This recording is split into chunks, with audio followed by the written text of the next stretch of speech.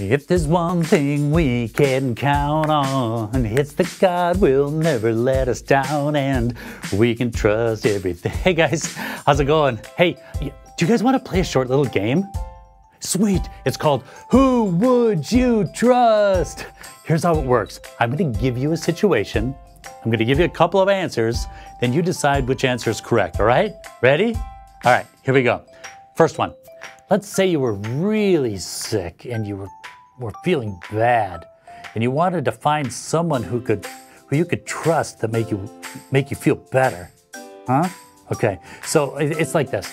Who would you trust to make you feel better? A a doctor, someone who has like experience in making people feel better, or would it be B the neighbor's dog Fifi?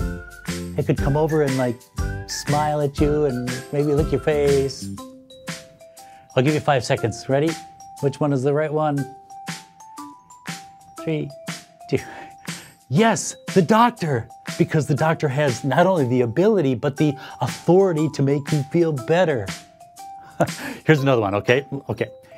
Imagine this. You're playing a game of soccer and you're running towards the goal, and a defender comes up to you and knocks you over and you fall flat on your face. Who would you trust to take care of the situation and to give the other team a penalty and to give you guys a free penalty kick for the wrongdoing? Hmm? Would it be A, the person selling hot dogs in the concession stand who didn't really see it, or B, the referee of the game? Three seconds. Three. Yes, obviously the referee of the game. He has the experience and the given authority, yes, to make you get a free penalty kick.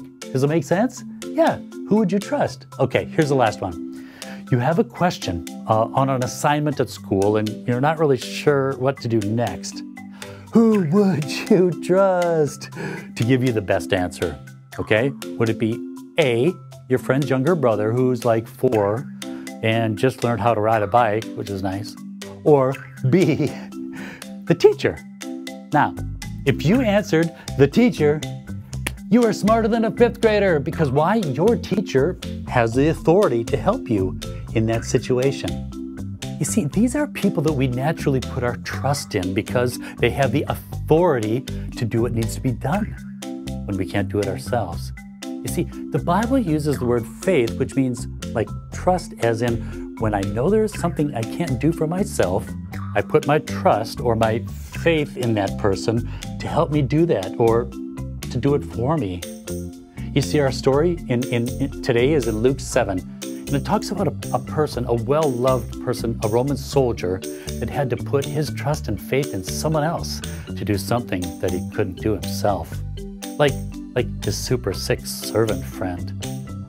This soldier put, put his trust in Jesus so much that even Jesus was moved by how much faith that he had in him.